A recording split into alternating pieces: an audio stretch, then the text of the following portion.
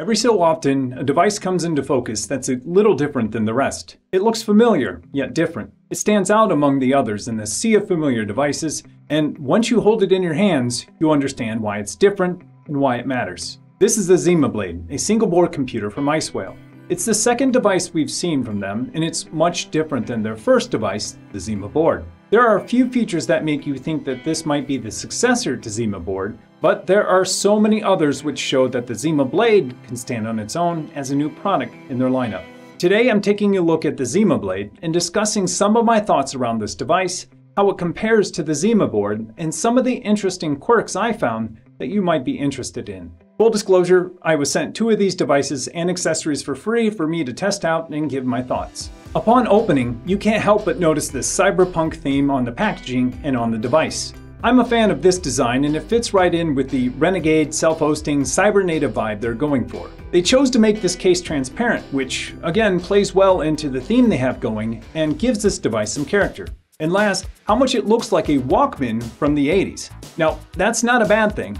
Walkmans had a ton of style, came in all shapes and sizes, and was an icon in the 80s culture. But I digress. The Zima Blade comes with either an Intel Celeron J3455 quad-core Apollo Lake processor or an Intel Celeron dual-core processor, depending on the model that you choose. This CPU supports AES-NI for encryption, VTX for virtualization, and VTD for directed I.O. or hardware pass-through. This processor is paired with the Intel integrated HD500 graphics processor, which is clocked at around 700 MHz. This chip also supports QuickSync and a handful of other features that help ensure that video playback is smooth, as well as enough processing power to do some lightweight retro gaming. You output the video with this mini DisplayPort that supports up to 4K at 60 Hz. It has a SODIMM slot that supports up to 16 gigabytes of DDR3 RAM, which is removable and not soldered on. As far as storage goes, it has 32 gigs of eMMC storage and dual SATA 3.0 ports for connecting additional drives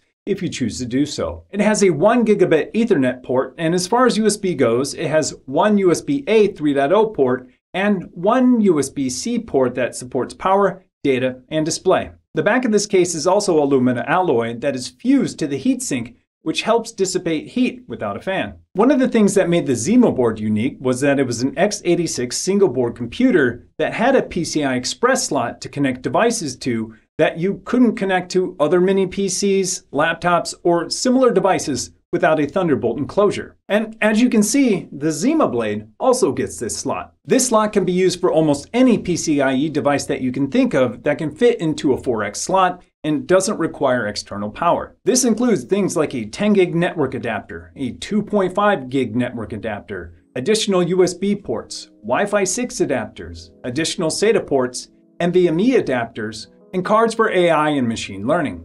But what is it like on the first boot? After installing the RAM and plugging in the device, you will boot into Debian Linux, which comes pre-installed. You can sign in using the username and password of CasaOS. You'll want to change this as soon as possible though and update your system. You might want to grab the IP too because you'll need this to get into the Casa OS web UI that also comes pre-installed. Now, Casa OS is an open source management interface which helps you install over 50 Docker apps with a single click, along with supporting any other Docker image you can find. It makes setting up a NAS with Docker apps a snap and great for a beginner. Although, if you're familiar with other open source NAS solutions, you might be missing some features when evaluating Casa OS. One thing that was mentioned in the instructions yes, I read them, is that if you go out to findzima.com, you can easily find your Zima device by clicking on this button. Now this didn't work for me even though my devices were on the same network, but this might be because the feature isn't ready yet. You also see on that page how they release a Windows and Mac client too, so I decided to test those out. So after downloading and installing these two clients, you'll notice that it installs Tailscale. Again, there isn't documentation on this stuff yet because it's pretty new, but it looks like it might allow you to connect your Zima devices easily over the internet, no matter where you are and if you have an edge connection or not. That might be for the upcoming Zima OS that I peeped on their GitHub. oh, and if you're worried about the code or the clients that are running, all of this is open source and on GitHub, so feel free to check it out if you don't trust it. The nice thing about this hardware being open is that you're not locked into how the vendor wants you to use it. Want to build your own NAS using Open Media Vault or TrueNAS? Go for it. Just get a bootable drive, install it, connect a couple of drives, and you're good to go. If you do go this route, I would recommend picking up the NAS kit that includes the dual 3.5 inch storage drive stand and a special Y SATA cable that helps you connect and power two additional drives. And just like that, you have a NAS. Or do what I did and create a dual boot Windows and Linux system. Now, I use both Windows and Linux a ton on my workbench, and I always find myself toggling back and forth when testing hardware. When I saw that the Zima Blade had a case for two additional drives, I knew right away this is how I was going to use it. I grabbed a few old SSDs out of my drawer, picked up a couple of cheap 3.5 to 2.5 inch drive adapters, installed the drives, and then connected them all with this Y-SATA splitter, and it was ready to go. Installing a dual boot system on this was relatively easy. However, I've had some experience with this in the past, and I've even done a video on it. Now when powering on the Zima Blade, I can choose Windows or Linux when booting up. You can see that this little quad-core processor is working its tail off during the boot process, but it tapers off after a few seconds. The integrated Intel video card works decent enough for watching videos, but this is just enough for what I need to test out hardware and also flash and wipe drives. On the Windows side, it's using anywhere from 6 to 10 watts of power after signing in and letting the machine sit for about 5 minutes to ensure that all of the sign-in tasks were complete. This variance we see here is due to a lot of the background tasks that run on Windows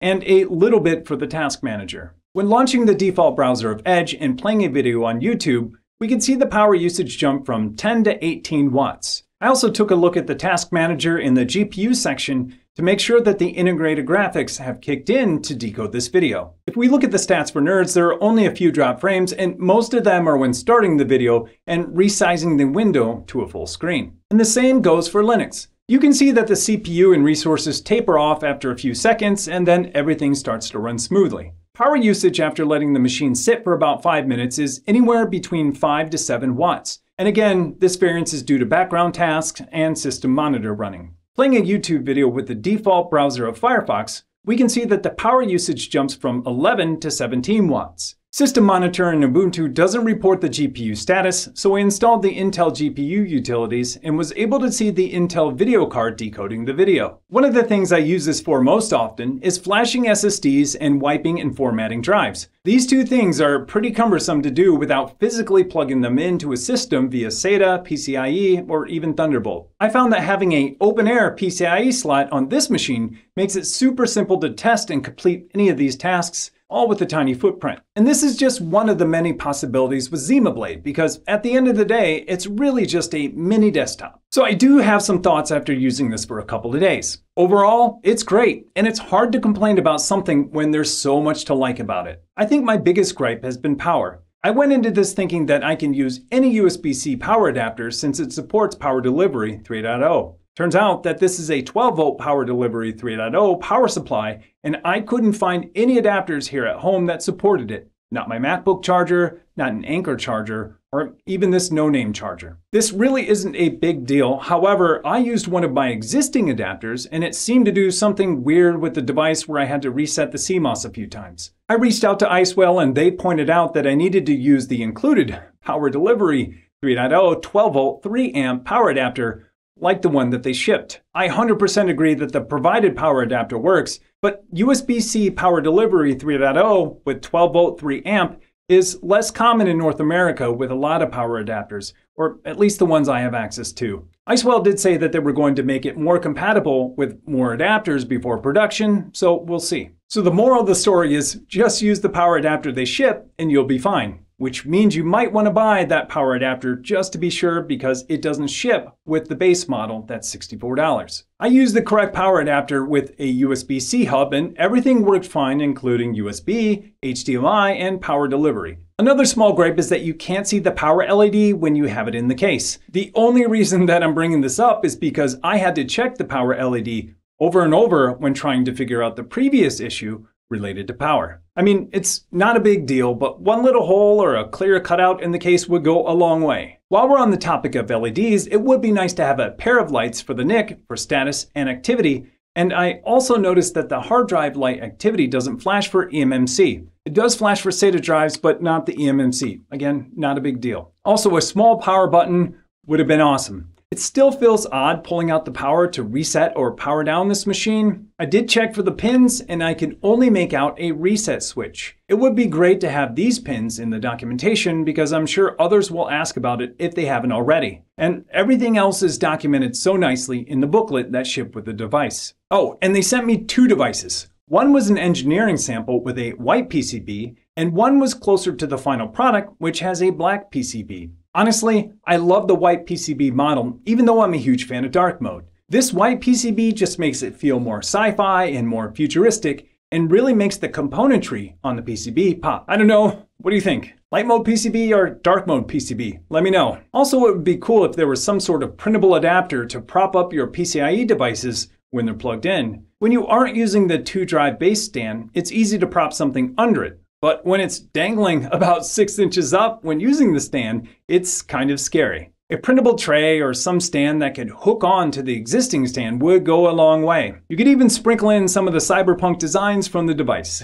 okay, it really sounds like I'm nitpicking, but these are just some small things that I think would go a really long way to put some polish on this device. It's hard to complain when there's so much to like about this $64 board. I know that it has an older CPU in it, along with DDR3, and the PCI is only 2.0, but considering the cost and what I would use it for in my day to day, I'd rather keep costs down than pay for features that I personally won't use. And I think that's the goal of this device, not to replace the Zima board, but to offer a lower cost option. Well, I learned a lot about the Zima Blade, a lot about power delivery over USB-C, dual booting Windows and Linux, and I hope you learned something too. And remember, if you found anything in this video helpful, don't forget to like and subscribe. Thanks for watching.